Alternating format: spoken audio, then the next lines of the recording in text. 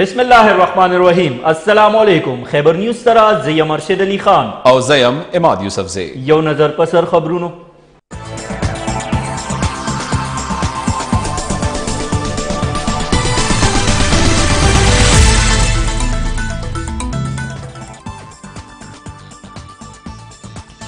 د پی آی ای الوتکې په خکې په حق رسیدلی د ټولو وسلويخ کسانو مری اسلام آباد ته رسولي شوی دي د ډي ان ای ټیسټ لپاره د مړو شوي کسانو او د هغوی لواحقینو نمونه پیمز هسپتال کې اغستل روان دي تر دې دمه دا تو کسانو مړي خپلو وارثانو ته حواله کړی شوي دي وزیراعظم نواز شریف د پی آی ایم مسافر جاز را غورځېدو پیښې شفاف تحقیقاتو لپاره انکوایري کمیټي جوړولو حکم کړي او ویلي دي چې انکوایري کمیټه کې دې د پاک فضایي اعلی افسران هم شامل کړي شي د پی آی ای او سیول ایویشن اتارټي ټیمونو حویلیا کې د پیښې ځای نه ثبوتونه راغونډ کړي او د الوتکې بلیک باکس یې د سیفټي انویسټیګیشن بورډ چیئرمین منیر بټ ته سپارلی دی دغه بلیک باکس به ډیکوډ کولو لپاره بهر ملک ته لیږلی شي د نامتو نعتخوا جنید جمشید مرې وصولولو لپاره د هغه رور اسلام آباد ته راغلی جنید جمشید سره د کور ودانې په دغه بدقسمته الوتکه کې سفر کولو الوتکې پیښه باندې ټول ملک کې فضا غمشنه ده د چترال سوارلس مسافر هم پیښه کې په حق رسیدلی چې وروسته یې په چترال کې د درې ورځو سوګ اعلان شوی دی ټوله ضلع کې تعلیمي ادارې هم بند دي د جماعت اسلامي امیر سراج الحق ویلي دي چې د ایبټ آباد په پیښه ټول قام غمجن دی او دا چې د پیښې جامع تحقیقات کول پکار دي سراج الحق په پیښه د پی آی ای د مشر استعفا غوښتنه هم کړې د امریکې او چین په شمول د نړۍ یو شمېر هیوادونو په ایبټ آباد جاز پیښې د افسوس څرګندونه کړې او د متاثره کورنو سره یې همدردي څرګنده کړې ده د امریکي حکومت د پیښې تحقیقاتو لپاره پاکستان ته د مرستې اړوندیز هم کړی دی پاکستان تحریک انصاف د پاناما لیکس مقدمه کې د کمیشن جوړولو وړاندیز رد کړی او عمران خان شرط یې ښودی که چېرې وزیر اعظم استعفا ورکړي نو د کمیشن قیام به تسلیم کړي ګینې د مقدمې فیصله دې د سپریم کورټ موجوده بینچ وکړي د افغانستان خاوره د پاکستان خلاف استعمالیږي د هند خفیه ایجنسی را د افغانستان د لارې پاکستان کې ترهګري کوي د خارج دفتر ویان نفیس زکریا هفتوار بریفنګ وایي چې افغان حکومت ته د تورونو په ځای د ترهګرۍ مخنیوي او بارډر مینجمنټ کې د پاکستان مرستې وکړي د پاک فوج سرلښکر جنرال قمر جاوید باجوا د ترهګرۍ مخنیوي مرکز په بو دوره کړې او د غلطۍ د پاکستان او چین شریک مشکونو جایزه اغستې ده په دې موقع خپل وینا کې هغه ویلي چې دا قسم مشکونه د ترهګرۍ ختمونو او امن بحالۍ کې مرستې ورکولی شي د سیفران وزیر عبدالقادر بلوچ وینا ده چې حکومت د قبایلي سیمو ولس ته د خپلې خوښې نمایندګان منتخب کولو حق ورکولو عزم کړی او دې سلسله کې به راتلونکي کال فاټا کې بلدیاتي ټاکنې کولی شي د سیفران وزیر دا هم ویلي چې فاټا نه به اف سي آر قانون په مکمله توګه ختمولی شي او د پاکستان کرکټ بورډ چیئرمین شهریار خان ویلي دي چې فاټا کې د کرکټ لوی ټالنټ موجود دی او دا چې فاټا او خیبر پښتونخوا کې کرکټ لوبې ته وده ورکولو لپاره آرمي چیف ته خط لیږل شوی دی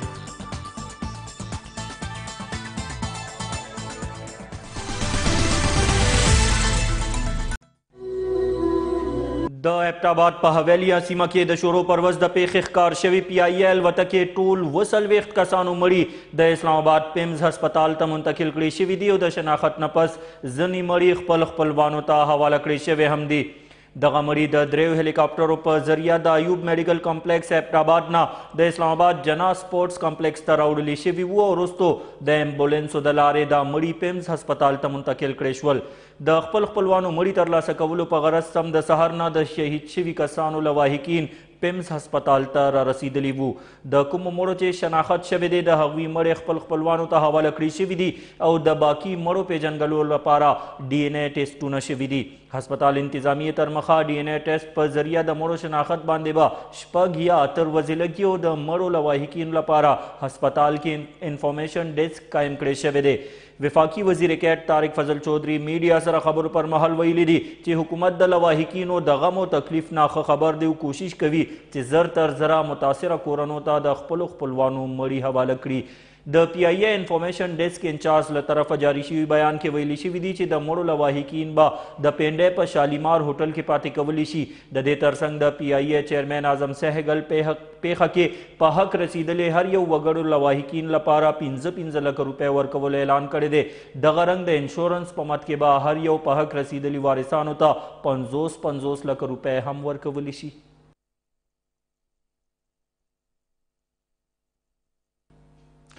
وزیر اعظم میا نواز شریف د پی آئی اے الوتکې د پیښې شفاف او غیر جانبدارانه تحقیقاتو حکم کړي او انکوایري کمیټه کې د پاک فضائیه سینئر افسر شاملولو هدایت کړي دي د وزیر اعظم نواز شریف په مشرۍ کې اسلام آباد کې د الوتکې د پیښې وجوهات معلومولو په غرض اعلی پای غونډه شوې ده چې پکې داخله وزیر چودري نثار او سیویل ایوییشن چارواکو ګډون کړی دی د پی آی ای چیرمن، ایویشن سیکرتر، ډي جي سیویل ایویشن او د پی آی ای سي ای او او دغه غمجنې پیښې په حواله وزیراعظم نواز شریف ته تفصیلي بریفنګ ورکړی دی. په دې موقع وزیراعظم د الوتکې غورځیدو پیښې غیر جانبدارانه او تفصیلي پلټنې کولو حکم کړی. هغه متعلقه چارواکو ته هدایت کړی دی چې د پیښې وجوهات زر تر زره معلومولو په غرض دې سیفټي انویسټیګیشن بورډ مکمل کړی شي او انکوایري کمیټه کې دې د پاک فضاییه سینیر افسر هم شامل کړی شي وزیر اعظم نواز شریف پی آی چارواکو ته هدایت وکړو چې په فوري توګه دې متاثر شوي خاندانونو سره ممکنه مرستې وکړي او د دې پیښې اصل حقایق دې زر تر زره ولسته په ډاګه کړي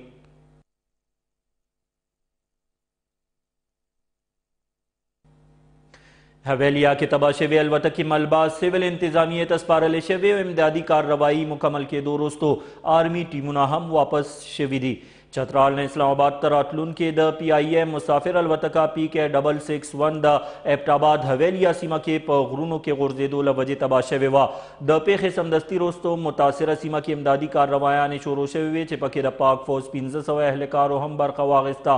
پیښه کې په حق رسیدلي ټولو کسانو مړي هسپتال ته منتقل کولو او د الوتکې ملبه راغونډولو کار سرته رسیدو وروسته د پاک فوځ ټیم متاثره سیمې نه واپس راغلی دی.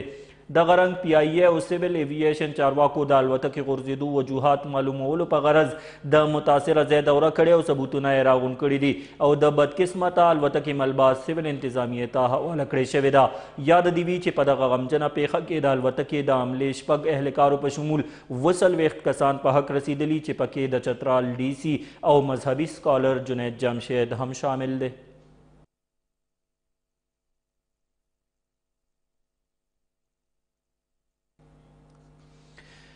د ابټاباد د پیښه کې په حق رسیدلی وسل وخت کسانو مړی پیمز هسپتال ته منتقل کړی شوی دی چې پکې ځنی مړی د شناخت نه پس خپل خپلوانو ته هم سپارلی شوی دی د هسپتال له طرف نه د مړی لواهکینو لپاره انفارمیشن ډیسک هم جوړ کړی شوی دی په دې اړه به مکمل تفصیل اخلو د خپل همکار اشفاق بنګش نه اشفاق تاسو دغلته کې موجود یې دغه غمجنه پیښه کې چې کم کسان شهیدان شوي وو د هغوی خپل خپلوان راغلي دي څرنګه صورتحال وینئ آیا هغوی سره مرستې کیږي یا هغوی ته څه ستونزې رامخې ته دي جی ارشد چې څرنګه دلته کې سهار نه کم د اسپیټال صورتحال او یقینا چې یو طرف ته که د دومره غمجنه پیښه مخې ته راغلي او خو بل ته بل طرف ته دغه چې کم دلته کې دغه خپل خپلوان راغلي او هغه بل خو یو غم یو درد مخې ته راغلی او د ځکه یو شمیر لکه ګڼ شمیر کې به درته وایم چې په هزارو تعداد کې د ځکه کم خپل خپلوان بیا غو سره چې کم پیژندګلو یا یاران دوستان هم راغلي وو او دې ځای کې بیا خاص کر چې کم دی چترال دې ځای کې دی په پیښه کې چترال ټول نه زیات کسان دي تقریبا ډیر شو پر د تر چترال کسان خود لیکيږي نو ځکه د چترال ټول اډمنستریشن دلته راغلي او بلکې د چترال ډي سي هم پکې دي حادثه کې شهید شوی دی نو د دې کې ډیسټریکټ ناظم او ایم پی ایز او ایم ان ایز د چترال نه علاوه د دې کې چې کوم حکومتي غړي او فقي حکومتي غړي هغه بار بار راتلل او دلته کې فاتحانی سلسله هم شروع شوی و د دې چې کوم اوس تازه صورتحال دی هغه به تاسو سره زه اپډیټ شیر کوم بیا تاسو ته وایم چې د دې سحر نه چې کومه غوبل روان وای د دې کې چې کوم کسان یا خاص کر لاوکینو د پاره چې کم ټینشن صورتحال و چې دا اوس مونږ ته به څنګه ملويږي او بیا خاص کر د مړو په حواله سره چې کم ډي ان اي ټیسټونو حواله سره خبره وا هغه ډیره زیاته تشویشناک وا خو لږه شیبه مخکې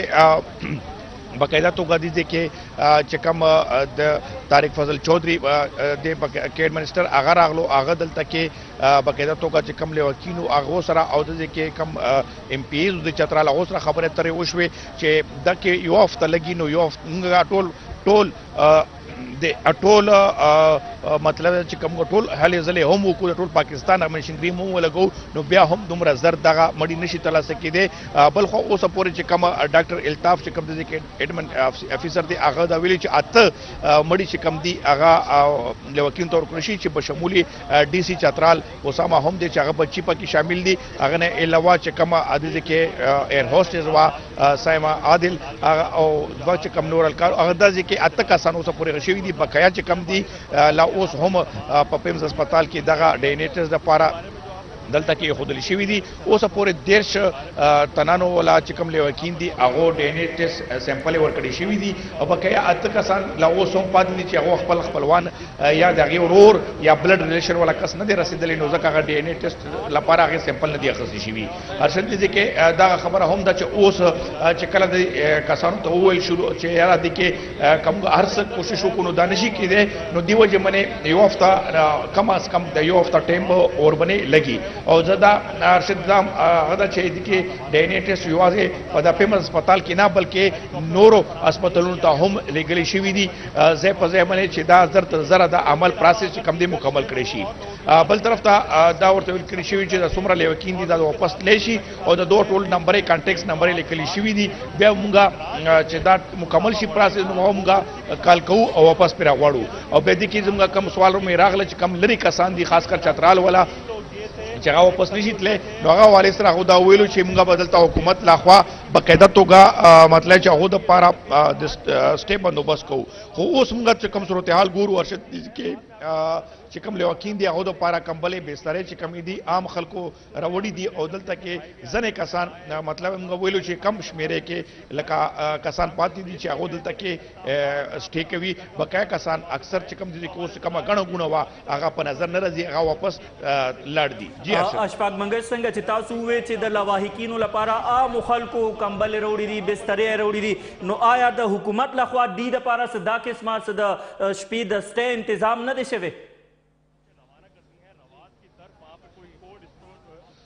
نه ارشد څنګه تاسو مونږ له چې وخت موږ دلته کې بقاعده توګه اوس په ګران کتون کې موږ هم ګوري چې موږ دلته کې من طارق فضل چوهدری منسٹر سره خبرې وکړي یا دلته کې د هسپتال انتظامیه سره موږ خبرې اترې وکړي هغه بل سات کې کتون کې هم ګوري چې د دې کې هغه خدا وای چې موږ خپل طرف نه بندوبست کړی دی او خاص کر پی ای اکام لا خوا دلته کې هوټل بندوبست هم شوی دی خو هغه شی په نظر نه راځي چې دلته کې لیوکین دلته کې غوي وساروي نو غو د پاره چې کم د روټې ښه روټې بندوبست یا د سینور د چای بندوبست چې کم دی هغه د فلای ادارې چې کمی دی هغه له خوا شوی دی لکه حکومت له خوا دلته چې کم د پیای له خوا چې کم دی کې یو کیمپ لګول شوی دی خو دلته چې څومره لوکین راځي هغه اکثر مونږ ګورو نو هغه اکثر په هغه باندې اعتبار نه کوي نو دا د فلاحي تنظیمونو مرستې اخلي بل طرف ته هغه په دې خبره باندې هم خپه دي چې دغه پروسس کې دومره ټیم ولې لګي او خاص کر هغه دلته کې کوم انتظار دی په انتظار باندې هغه ډیر زیات مطلب چې یو هغه مړې ورته پروت وي بل طرف ته دغه شانت انتظار وي نو هغه ډیر زیات مطلب چې خفګان کې او ډیر زیات په مشکلاتو کې دي جی ارشد شپږ بنګش زموږ کتونکي د دې نه هم خبر کړي ویل کیږي چې دا ډي ان اې چې کوم سیمپل اغستې شوي دي دا به لاهور ته لیږلي شي هلته به د دې ډي ان اې ټیسټ کولی شي نو په دې اړه زموږ کتونکي لږ خبر کړي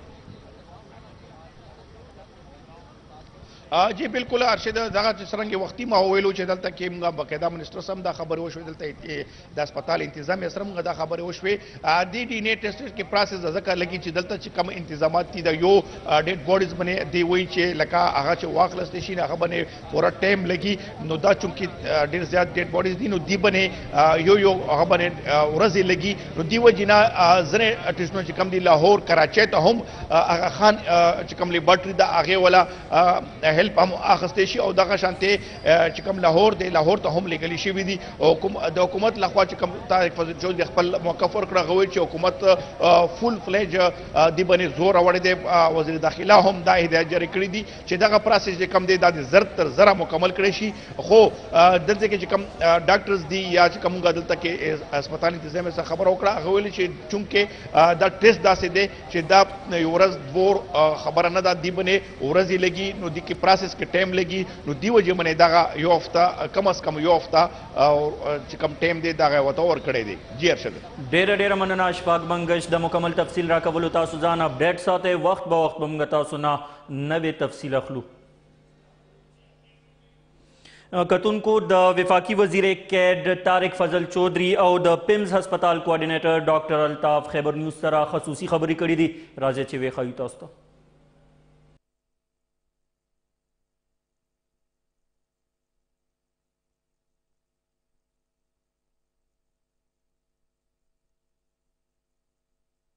جی میں نے ابھی صبح سے لوائکین کے ساتھ ہیں ان کے دکھ درد میں برابر کے شریک ہیں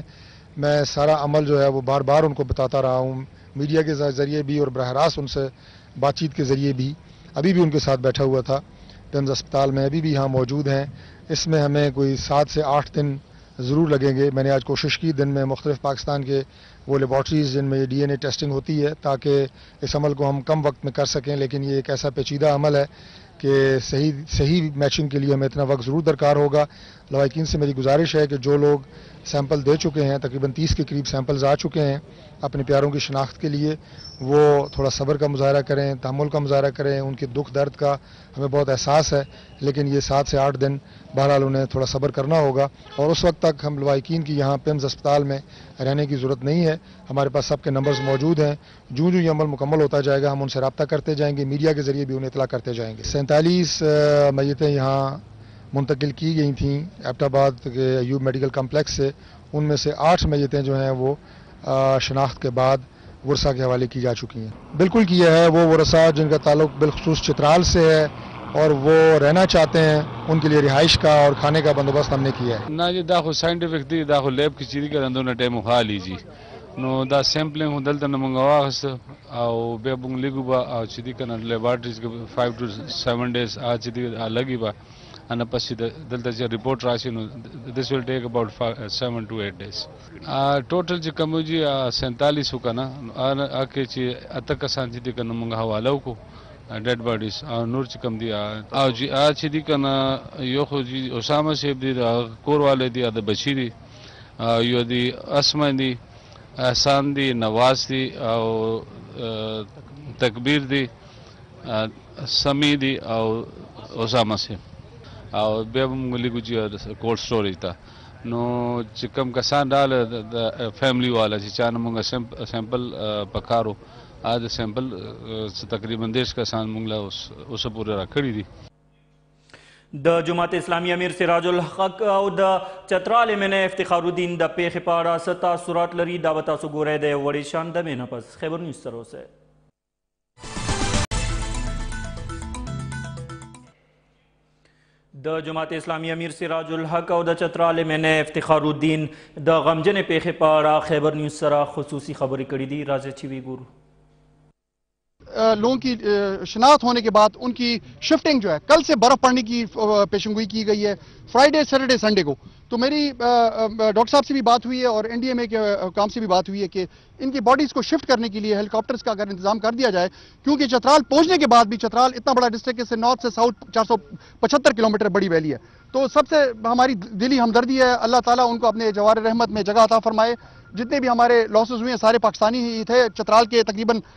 سے کم از کم 47 میں سے 35 لوگ چترال سے ان کا تعلق تھا ابھی ہم نے ہسپتال والوں سے معلومات لیا تو تقریباً آٹھ دن مزید لگیں گے ڈی این اے ٹیسٹ میں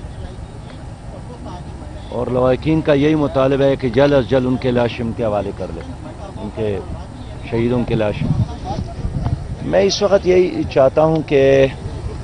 ڈیزاسٹر انسانی زندگی کا ایک مستقل حصہ ہے لیکن ڈیزاسٹر کے لیے تیاری نہ کرنا یہ ایک قومی جرم ہے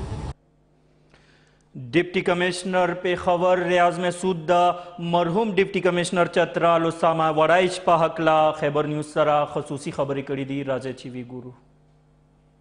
اسامه چې و د ما سره تقریبا یو کال اډیشنل ډیپټي کمشنر پاتې شو او زه تاسو ته لکه دې شي زه بیان نشم کولی چې دغه نه افسر که زه په ژوند کې چېرته یو افسر متاثر کړی یم نو هغه اسامه وړای شو اسه چې سړی مړ شي نو هر یو سړی تعریف هم کوي او دغه خدمات هم اظهار کوي خو دا اسامه چې ژوندی و نو دا امانه به چې چا تپوس کولو نو ما یقینا دا خبره چې کومه خبره زه اوس کوم چې دا ژوندی و پښتین به ما دا خبره کوله چې دغونه افسر ما کم از کم په خپل ژوند کې نه چې کومې سینیرز و نه مې په عقل لیدلی و او چې چا د ما سره کار کړی و داسې شانته افسر ما نه و کتلی دی انتهایی بهادر و. او موږ سره پېښور کې اکثر چې نورو صوبو نه افسران راشي نو لږ داسې غی شکي غوندې یي او لکه پوره په زړه سره انوکري نه کوي خو ده صرف او صرف یو فلوینټلي پښتو خو نه شوای ویلی او نور مکمل پښتون افسر و په ده کې د موږ د پښتنو چې څومره رسم و رواج دې طور طریقه دې دا ټول په دکې موجود و لکه موږ دلته ډیر زیات انټي انکروچمنټ ډرایو او دا پښاور کې ډیر زیات انیشیټیو اخستی و چې په دې کې مختلف پروګرامونه و دا ولنټیر ټاسک فورس ریس کول و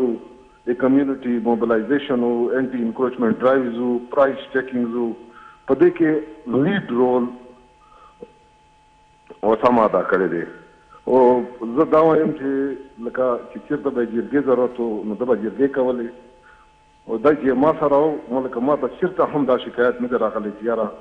دا یو د پنجاب صوبې نه راغلی دی یا پنجابی دی یا د موږ په رسم او رواج باندې پوه نه دی زه دا وایم چې جی لکه دا خو د یا وایي چې پیپل ان پیپل ان دی سټریټس ار دی بیسټ ججز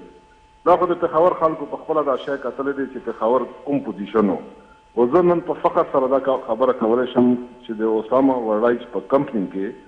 مونږ تقریباً پندرا ارب نه بیس ارب پورې خو چې کوم حکومتی پراپرټیز ؤ خلکو پرایویټ خلکو قبضه مافیا نیولې وه هغه مونږ د خلکو نه حکومت ته واپس کړې وه اوسامه خدمات صرف په پېښور کې نه ؤ نن چې نتیه ګلې ته لاړ شې، دا نتیه ګلې لکه بازارونه او دا نتیه ګلې چې دومره کلاو دې، دا ټول کریډ جدې ده او سمه بڼه کې ته ځي. حویلیا سره نږدې د پېښې ښکار شوې الوتکه کې د زنانه او ماشومانو په شمول د چترال څوارلس کسان په حق رسېدلي دي چې وروسته یې په چترال کې د درې ورځو سوګ اعلان شوی دی او ټوله ضلع کې تعلیمي ادارې بند دي. تفصیلاتو تر مخه په دغه الوتکه کې ډپټي کمشنر چترال اسامه احمد ورایج د هغه کور ودانې او یو ماشومه هم په حق رسیدلی دي د دې نه علاوه په دغه پیښه کې د چترال سره تعلق لرونکي شهزاده فرهاد عزیز څوک چې د چترال پیراګلایډینګ اسوسییشن صدر و سره د خپل لور په حق رسیدلی دی د غرنګ په دغه بدقسمت الوتکه کې د چترال سره تعلق لرونکي په مجموعي توګه څوارلس کسان په حق رسیدلي دي چې وروسته یې په درسته ضلع کې د غم فضا جوړه شوې ده د دې پیښې په غم کې په چترال کې د درې ورځو سوګ اعلان شوی دی او ټوله ضلع کې نجي او سرکاري تعلیمي ادارو نه علاوه دفترونه هم بند دي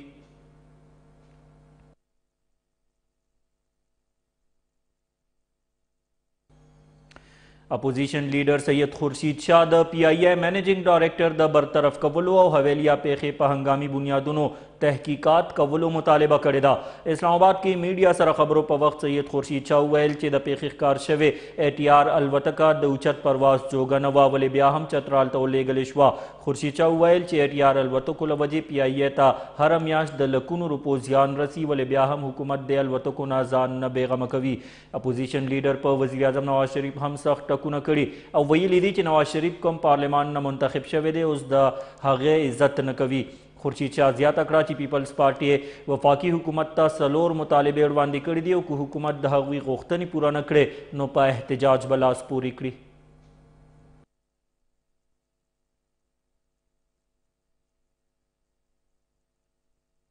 پی آی ای چیرمن اعظم سهګل ویلي چترال نه اسلام آباد تر سفر دوران تباه شوې الوتکه کې د پرواز نړواندې هیڅ خرابي نه وه ولې د پیښې اصل وجوهات به د پلټنو نه پس مخې ته راځي اسلام آباد کې خبریالانو سره خبرو اترو پر مهال د پی آی ای چیرمن اعظم سهګل وویل چې اطلاع راغله چې د پیښې نړواندې د الوتکې ریډیو پیغام ملاو شوی و چې یو انجن خراب شو خو دې وروسته هم دا هیله وه چې په دویم انجن به الوتکه محفوظ طریقې سره لینډینګ وکړي. د الوتکې له دغه ایمرجنسۍ رابطې نه پس الوتکه له ډار نه غیبه شوه. د پېښې اصل عواملو په اړه اعظم سهګل وویل چې په دې اړه خبره کول د وخت نه وړاندې ده او د پلټنو نه پس به اصل وجه په ډاګه کېږي. اعظم سهګل دا هم وویل چې د پېښې ښکار شوې الوتکه کال دوه زره اووم کې پي آی ای کې شامل کړې شوې وه او دې الوتکې یوې میاشت وړاندې هم باقاعده تکنیکي جاج اخیستې شوې وو او دا چې د کليرنس نه پس د دې الوتکې چترال او اسلام اباد ترمنځ مسافرو لپاره استعمالېده. د الوتکې د پايلټ په اړه اعظم سهګل زياته کړه چې کپټن جنجووا دولس زره ګنټو فلاينګ تجربه لرله او د هغه په صلاحيتونو هم سوال پورته کول بې ځايه دي.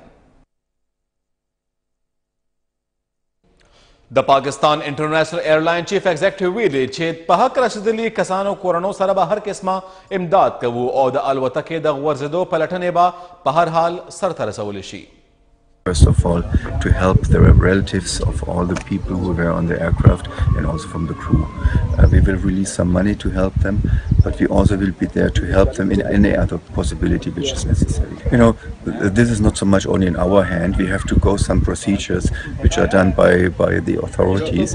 Uh, I hope this will not take such a long time, but we will make sure that all the relatives can come here, they can stay in hotels and place, and of course we will help them in, in all things which are needed, that they have a, uh, a possibility to, uh, to, to stay here uh, till everything is technically done.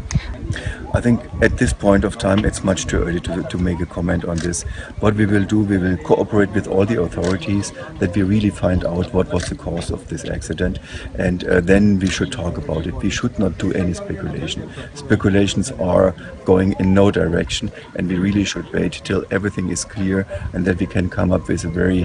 clear report about why this, this tragic accident happened. مشهور ناتخوا او دعوت تبلیغ سره تړلی خدای بخلی جنید جمشید د جاز تبا کېدو پیښې ښکار شوی دی جنید جمشید کوم ځای زیږېدلی و او کوم ځای تعلیم ترلاسه کړی و راځئ چې تاسو ترې خبر کړو خدای بخلی مشهور ناتخوان جنید جمشید په دریم ستمبر کال نولس سوه څلور شپېته کې د کراچۍ ښار کې پیدا شوی و جنید جمشید ابتدايي تعلیم د سعودي عرب په یو انټرنیشنل سکول کې حاصل کړی و. د ابتدايي تعلیم نه وروسته جنید جمشید خواهش و چې پاکستان ایرفورس کې د جنګي جهاز پایلټ په توګه شمولیت وکړي ولې د هغه د کمزوري نظر له وجې د هغه خواهش نیمګړی پاتې شو. دغې نه پس جنید جمشید په نولس سوه نهه نوي کې د لاهور انجنیرنګ او ټکنالوجي یونیورسټۍ نه د مکینیکل انجنیرنګ ډګري تر لاسه کړه. خدای بخښلي جنید جمشید د ړومبی د فیشن ډیزاینر او سندرغاړي په حیث کار کولو او جنید جمشید په کال نولس سوه اووه اتیا کي د هغه وخت مشهور میوزیکل بینډ وایټل ساین کي شمولیت اختیار کړو. جنید جمشید دغې بینډ له ویلې شوي خپلې ړومبۍ سندرې دل دل پاکستان نه په ټول ملک کې بې پناه شهرت تر لاسه کړو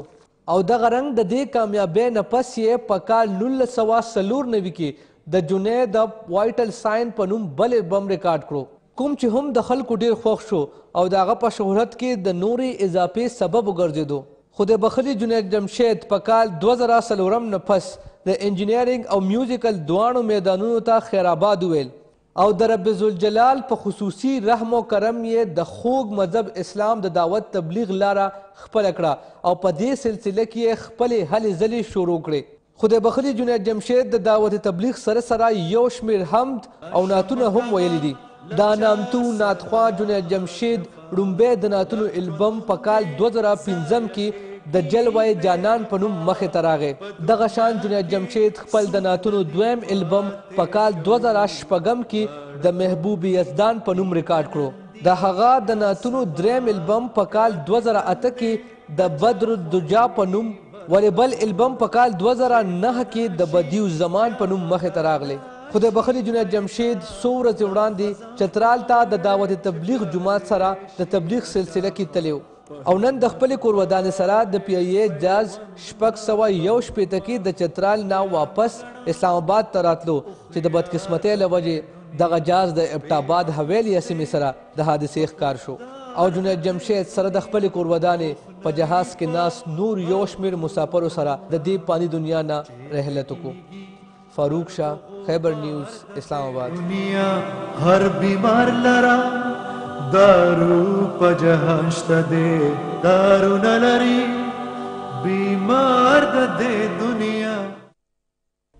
معروف مذهبي سکالر جنید جمشید د خپل ژوند کامیابی سفر د دل دل پاکستان کامي سندرې نه شروع کړی وو ولې باقي پاتې ژوند دی د دین او اسلام په لاره کې تیر کړو د جنید جمشید د ژوند په حق لا تفصیل ګورو د فضل کریم په دې خصوصي رپورټ کې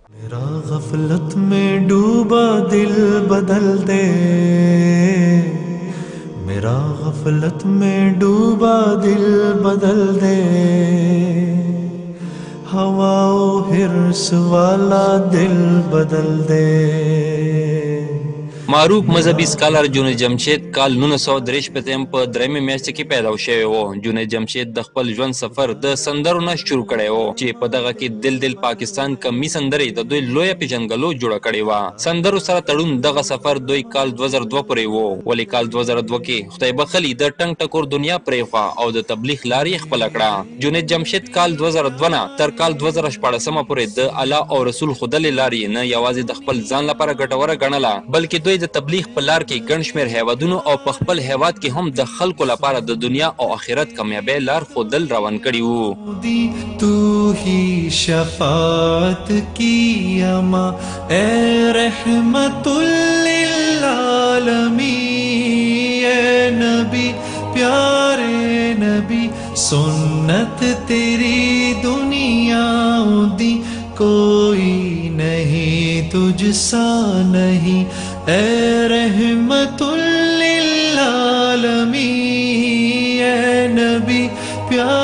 جنید جمشید ته الله تعالی یو ښکلی اواز ورکړی و او دوی د خپل اواز د لارې نعتونه او حمدونه هم جاري ساتلي وو. خدای بخښلي څه موده وړاندې چترال ته د تبلیغ په لار کې تللی و، ولې خو دغه سفر د دوی د ژوند اخرنی سفر ثابت شو. جنید جمشید چترال نه د پي آی اې په الوتکې کې ناست و، کوم چې د حادثې ښکار شو او په دغې حادثې کې د پنځه څلوېښت کسانو بشمول د خپلې کورودانې دغې دنیا نه رسخت شو.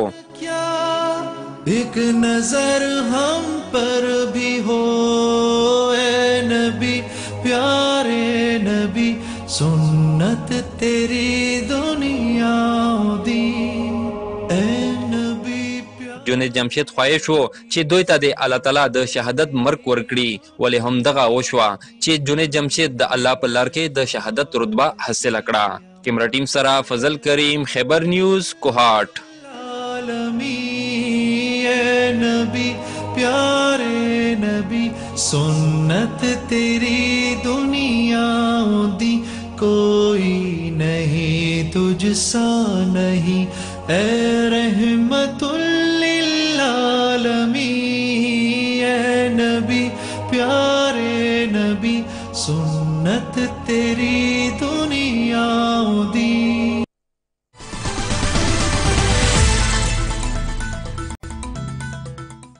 د پاکستان انټرنیشنل ایرلاین په بیړه کې کومې کومې الوتکې شاملې دي او تیره ورځ د تباه شوې الوتکه څومره زړه وه راځئ چې تاسو ترې خبر کړو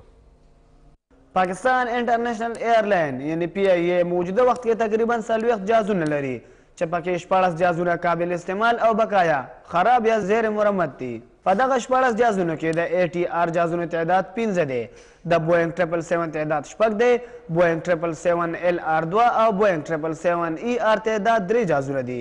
په دې کې بوئنګ جهازونه زیاتره د لانګ ډسټنس یعنې اوږدې فاصلې سفر لپاره استعمالیږي. بهر ملکونو ته سفر کوونکي پي ای ای جهازونه هم دغه بوئنګ الوتکې دي. کمې فاصلې سفر لپاره چې پي ای ای د ای ټي آر جهازونه استعمال کوي. تېره ورځ د حادثې ښکار شوی پي ای ای جهاز هم دغه ای ټي آر جهاز و. د ادارې ترجمان دانیال ګیلاني وایي چې حادثه کې تباه شوی ای ټي آر جهاز لس کاله پخوانی و. دا جازونه یعنی ای ټی آر یو فرانسیسی کپنی جوړوی. دا کپنی په کال نولس سوه یو اتیا کی قایم کړی شوی وه. ای ټی آر جازونه په اوسنی وخت کی د دنیا سل ملکونه استعمالوی. خو پاکستان کی د بد قسمتی نه دا جازونه مسلسل د حادثو ښکار کیږی کوم چه د فکر وړ خبره ده.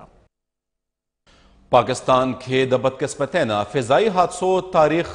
یو لوی سلسله لري د دې تاریخ په حواله مو خبروي زموږ همکار نصیر اعظم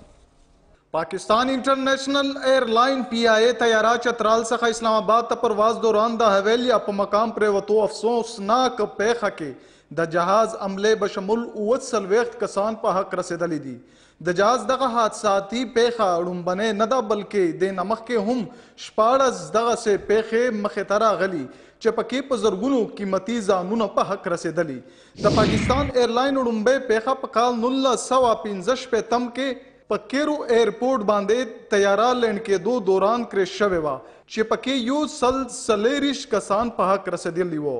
دويمه حادثه په کال نولس سوه اويايم کې د پي آئي اې فوکر اسلام آباد څخه ټېک آف کېدو دوران د حادثې ښکار شوه چې پکې دېرش کسان په حق رسېدلي وو. دغه رنګ درېمه حادثه په دسمبر مياشت په کال نولس سوه دوه اویایم کې د پي آی اې فوکر طیاره پینډۍ کې پرېوتو پېښه کې شپږ ویشت کسان په حق رسېدلي وو. څلورمه افسوسناکه حادثه د نومبر میاشت په کال نولس سوه نهه اویایم کې پاکستان اېرلاین حاجیانو طیاره په جده کې د حادثې ښکار شوې وه چې پکې يو سل شپږ شپېته پاکستاني حاجيان په حق رسېدلي وو. دغه رنګه د پي آی اې فوکر طياره بله پېښه د اکتوبر په مياشت نولس سوه شپږ اتيا يم کې پېښور کې رامخې ته شوې چې پکې ديارلس کسان په حق رسېدلي وو. دغه رنګه په اګست نولس سوه اتیا اتیایم کې بهاولپور کې د یو ایس ملټري سي ون ترټي طیاره پرېوتو پېښه کې د جنرل ضیا بشمول دېرش کسان په حق رسېدلي وو. اوومه افسوسناک پېښه په نولس سوه نهه اتیایم کې د پي آی اې فوکر طیاره ګلګت سره د حادثې ښکار شوې وه چې په کې څلور پنځوس کسان په حق رسېدلي وو. د پي آی اې طیاره بله حادثه په نولس سوه دوه نوي کې د نیپال سرښار کې رامخې ته شوې وه چې په کې یو سل اووه شپېته کسان په حق رسېدلي وو. په فروري دوه زره درې کې کوهاټ غریزه سیمه کې د ایر فورس طیاره پرېوتو حادثه کې ایر چیف مارشل مصحف علي میر سره د خپل خاندان اوولس کسان په حق رسېدلي وو. فروري دوه زره درې کې نجي طیاره کراچۍ سره نږدې پرېوتو پېښه کې اته کسان په حق رسېدلي وو. دغه رنګ جولای دوه زره شپږ کې پي آی اې فوکر ټېک آف کېدو دوران ملتان کې پرېوتو پېښه کې پنځه څلوېښت کسان د حادثې ښکار شول. جولای دوه زره لس کې اسلام اباد مارګله غرونو کې ایربلو طیاره پریوتو پیښه کې یو سل دوه پنځوس کسان د حادثې ښکار شوي وو. نومبر دوه زره لس کې کراچۍ کې د نجي کمپنۍ طیاره د حادثې ښکار شوې وه چې په نتیجه کې دوولس کسان په هک رسیدلي وو. په دې میاشتې کې په کراچۍ کې یوه بله روسي ساخته طیاره ټیک آف کیدو دوران د حادثې ښکار شوې وه. چې په نتیجه کې دوولس کسان په حق ورسېدل. اپریل دوه زره دوولسم کې د بوجا ایرلاین طیاره اسلام اباد سره نږدې پرېوتو حادثه کې یو سل دېرش کسان په حق رسېدلي وو. دې حادثو په اړه نټ سیلور یو امریکایايي ډېټا ساینسدان دی چې څوک په نړۍ کې د زیاتو پېښو ښکار شوي ایرلاینز په حواله کار کړی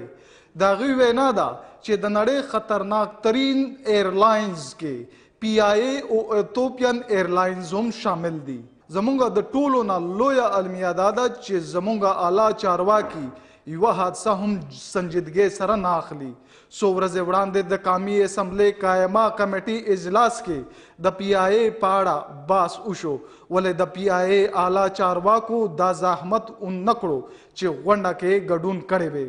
او زمونږه زیاته تره ادارو د تباهی لویه وجه هم نا اهله اعلی چارواکی دی نصیر اعظم مسعود خیبر نیوز اسلام آباد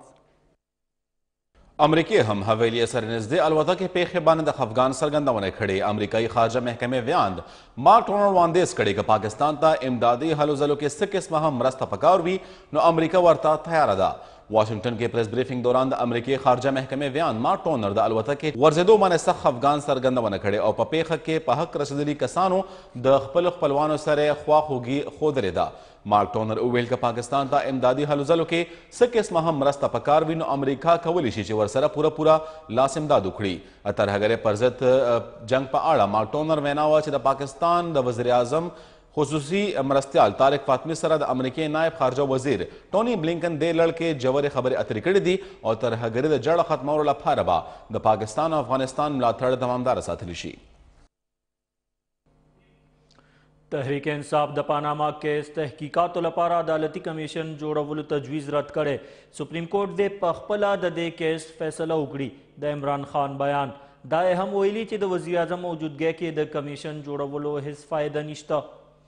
اسلام آباد کې میډیا سره خبرو پر مهال د عمران خان وینا وه چې د پارټۍ ممبرانو او وکیلانو سره سلا مشورې وروسته په دې نتیجه رسېدلې چې د پاناما لیکس تحقیقاتو لپاره د کمیشن جوړولو په ځای د سپریم کورټ موجوده بینچ په خپله د دې فیصله وکړي دا هغه وینا وه چې د دې کیس سماعت کوونکي ستر عدالت بینچ سره ټول معلومات جمع شوي دي او غواړو چې عدالت دې د روزانه په بنیاد د دې مقدمې اوریدنه وکړي عمران خان دا هم ویل که چېرې وزیر اعظم نواز شریف د خپلې څوکۍ نه استعفا ورکړي نو بیا پاناما لیکس تحقیقاتو لپاره کمیشن جوړول ښه ده ځکه چې ټولې ادارې د حکومت کنټرول لاندې دي او د نواز شریف موجودګۍ کې د دې معاملې آزاد تحقیقات نشي کېدی خان صاحب د پي آی اې الوتکې تباه کېدو په پېښه د افسوس او د مړه شوي کسانو له واهکینو سره د غمرازۍ څرګندونه هم کړې ده.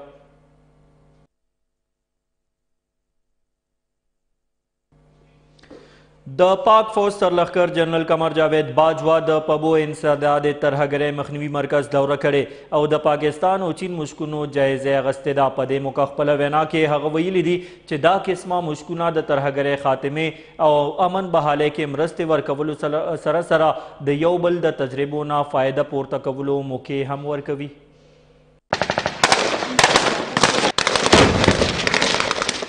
آیس پی آر لخوا جاری شوی بیان کې ویل شوی دی چې د فوج سرلخکر جنرال قمر جاوید باجوا انسداد ترهګرۍ مرکز په بو دوره کړې ده او دغلته تیر دوه میاشتو راهسې روان د پاکستان او چین شریک فوجي مشکونو واریر فور اختتامی دستوري کې ګډون کړی دی بیان تر مخه د دواړو ملکونو فوجیانو د ترهګرۍ مخنیوي په حواله مختلف مشکونه کړي دي چې مقصد یې کلیوالو سیمو او ښارونو کې د ترهګرۍ مخنیوي مهارت کې اضافه راوستل دي جنرال قمر جاوید باجوا ټوله ورځ دغه سنټر کې تیره کړه او د مشکونو جایزه یې هم واغیسته